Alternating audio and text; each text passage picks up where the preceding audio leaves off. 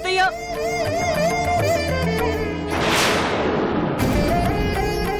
నన్ను ఇంట్లో నుంచి బయటకు తరిమేశాడు అత్తయ్య. నన్ను కాపాడత్తయ్య నేనేం చెయ్యాలి?